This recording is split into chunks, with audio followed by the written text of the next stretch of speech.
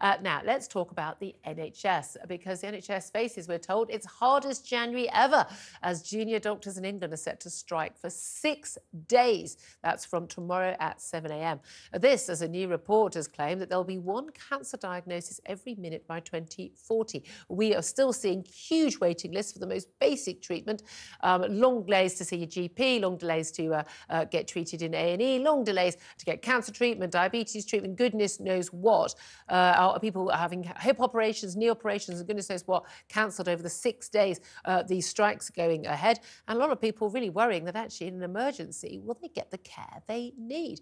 Uh, well, joining me right now is Dr. Tony O'Sullivan. He's co-chair of Keep Our NHS Public. They're a campaign group that opposes the privatisation of the NHS, even though no one's actually promising to actually privatise the NHS. So I'm not quite sure why they opposed something that wasn't on the cards anyway. But uh, Tony O'Sullivan, a happy new year. Thank you for joining us. Thank you, Julia. Um, oh, oh, do, you, do, you, still think, by the way, just before we get into the strikes, that the Tories are planning to privatise the NHS? Because they've been in power a long time and they seem to be making a big hash job of not doing it.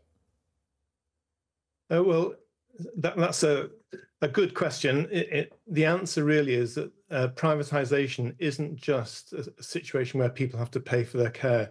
It's also about uh, the private industry taking over NHS functions. So, for example, the, the there are more cataract operations now being done by private uh, companies than the NHS. How awful! For, cataract for operations happening for NHS patients. I'm sorry, I didn't I didn't catch that. No, but how awful? Why why why why is that about? I mean, look, I, am a, I'm a child of an NHS GP. Um, mm. I've always used the NHS. I'm, I'm kind of of the view that as long as an operation takes place, um, I, I, do want care to be free at the point mm. of need. I don't whether you've got a council estate or a country estate, you should be able to get health care in this country.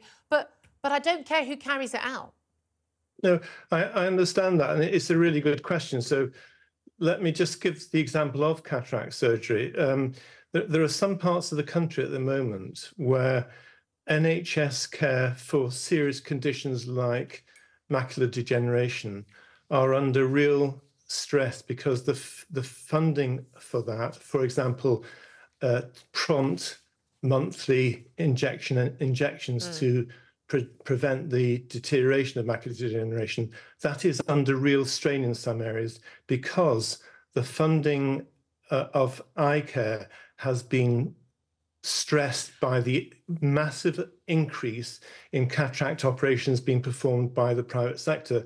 And the waiting list uh, for ophthalmology appointments hasn't gone down. Uh, the, the proportion okay. of ophthalmology. I mean, it seems to me that people in, are having private operations because they're waiting too yeah. long on the NHS because the NHS no. is failing to do it, and we're always told it's about funding. The NHS has the largest funding it's ever had. Yeah. I don't, you know, it does seem bizarre. Listen, can just, I can I let, can I go on to the strikes me, though? No, because we haven't got point. half an hour. I want to go on to the strikes. Well, but you I don't want to be talking sorry, about ophthalmology. You, you asked me, and then you're not letting me answer. But anyway.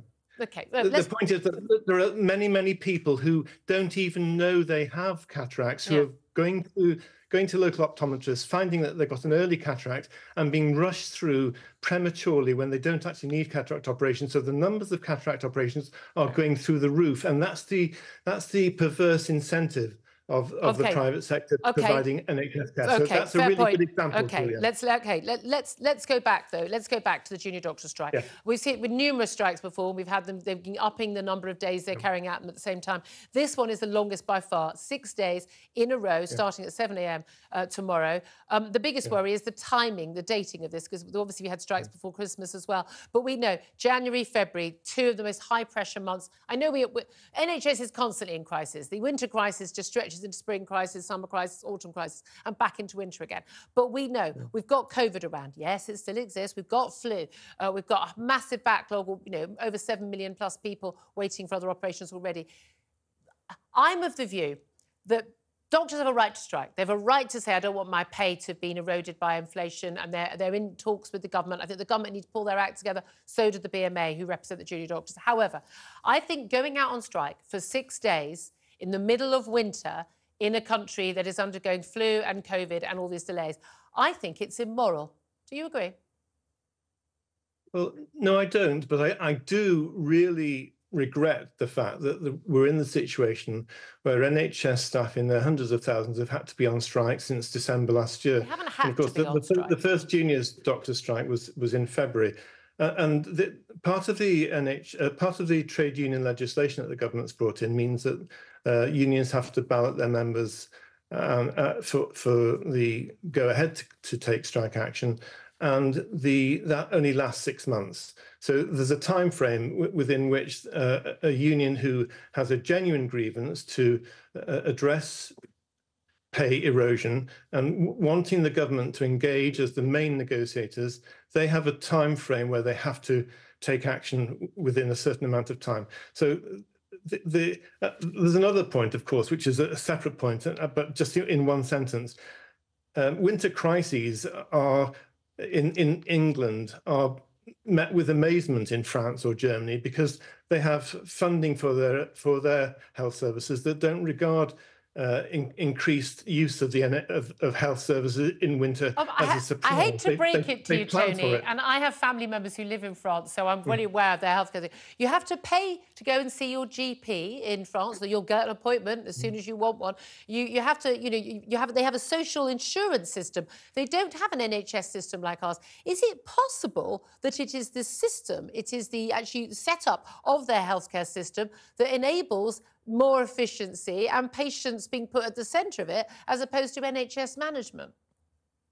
Well, of course, we all know, and I'm sure you do, and, and most uh, informed experts know that when the NHS is funded properly to the point where it can run efficiently, it's actually a whole lot cheaper than fr France or Germany or Switzerland. Oh, but it still has been. No, no, even even no, no. Been... Even when it had the funding it had under Tony Blair and Gordon Brown, which was much higher per capita, even then it had the worst. It had worse outcomes than most other European and other countries around the world uh, who have who have similar economies. Had worse outcomes. If you, you you might get treated, but your chances of living at the end of it were lower. Well, you know as well as I do that mortality is a, a factor that's dependent on poverty and social conditions much more. There's no poverty in France. Healthcare. No, it's no, it's that no. Uh, yeah, thank you. That, that you're, you're, making my point for no, me. I'm, so I was being the, sarcastic. The, the, point, the point is that the the the healthcare in France and Germany is good. There are good. There are good systems. It's they're better also than a ours. whole lot more expensive. It's they're better a whole lot than more, ours. They're a whole lot more expensive. They weren't better than ours. The, the, the Commonwealth Fund, as, as you probably know, even, even Jeremy Hunt used the, the Commonwealth Fund analysis of comparative health systems around the world.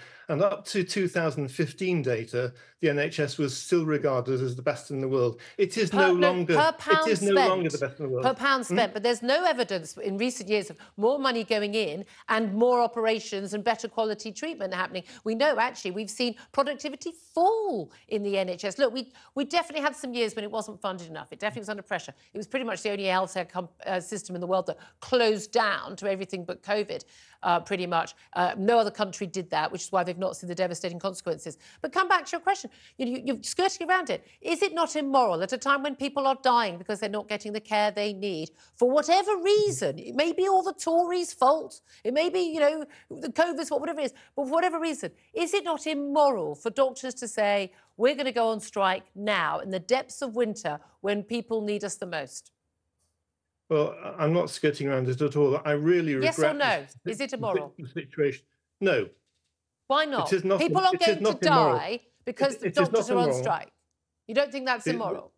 The, the, the emergency care is in place. The continuity of care is in place. There, there is no doubt that strike action uh, has an impact on waiting lists. But of the 100 million uh, appointments in the NHS in, in a year, uh, there are um, 12 million of those appointments are cancelled by the hospitals themselves, and millions of, of appointments are cancelled by patients needing to rearrange. One million has have been affected by strike action, and there's no skirting around that. I, and I, I would don't deny it.